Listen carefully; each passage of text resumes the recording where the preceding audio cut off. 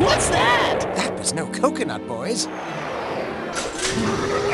I'm finally here. I've come for the ultimate fruit taste of Froot Loops. I'm going to check out that noise. My, what's this?